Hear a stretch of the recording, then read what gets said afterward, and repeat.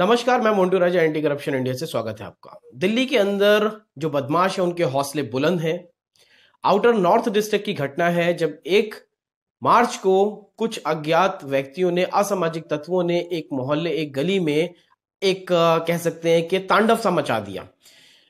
कई लोग आए, डंडों से लैस, उन्होंने जो गली में गाड़ियाँ खड़ी थी मोहल्ले में, वो तोड़ी, अधे पत्थर मारे और एक हवाई फायर भी करी। ये तमाम जो हादसा घटित हुआ है, ये सीसीटीवी फुटेज के अंदर कैद हो गया, जिसके बाद पुलिस हरकत में आई, पुलिस को इतला हुई, जिसके बाद पुलिस बल वहाँ पहुँचा और जो वो बदमाश थे, जो एक तरह से दंगा के माध्यम से एक मंशा से आए थे, वो वहाँ से फरार हो गए। एक तारीख की ये घटना है, जिसके बाद पुलिस ने अपनी टीम का गठन किया और उन दंगाइयों को पकड़ने का प्रयास किया है। क्या है वो पूरा सीसीटीवी फुटेज वो आपको हम दिखाते हैं, उसके बाद हम इस पर चर्चा करेंगे।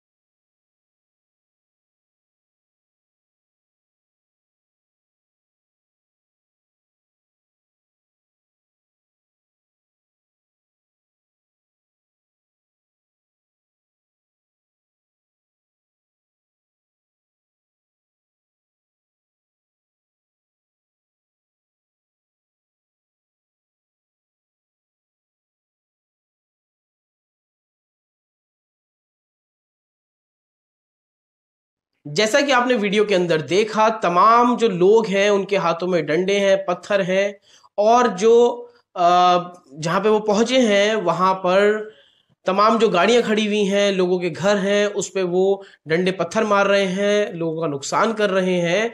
तो ये जो घटना घटित हुई है, ये पूरी सीसीटीवी कैमरे में कैद हो गई है। बताया ये जा रहा है कि किसी आपसी रंजिश के चलते जो लोग हैं, वो एक पर्टिकुलर व्यक्ति के लिए वहाँ आए थे उसको नुकसान पहुँचाने के लिए आए थे लेकिन उसकी चपेट में पूरा मोहल्ला पूरी गली आ गई। तो आप देखिए कि किस तरह बेखौफ दिल्ली के अंदर जो बदमाश है वो घूम रहे हैं और ये अपने आप में प्रश्न भी होता है। हालाँकि इस घटना के बाद काफ़ी भारी मात्रा में पुलिस को डिप्लॉयड किया गया लेकिन आ, क्या बदमाशों के अंदर भय नहीं है या डिप्लॉयड भी किया गया तो पुलिस कब तक डिप्लॉयड रहेगी?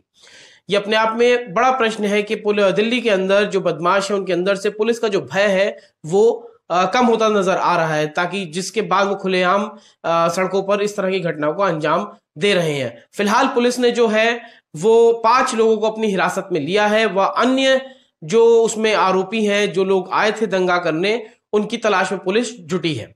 सो आपकी क्या है राय? इस सिक्योरिटी और इस सुरक्षा के ऊपर आप हमसे कमेंट द्वारा साझा कर सकते हैं। अगली अपडेट के साथ आपके सामने फिर प्रस्तुत होंगे। नमस्कार।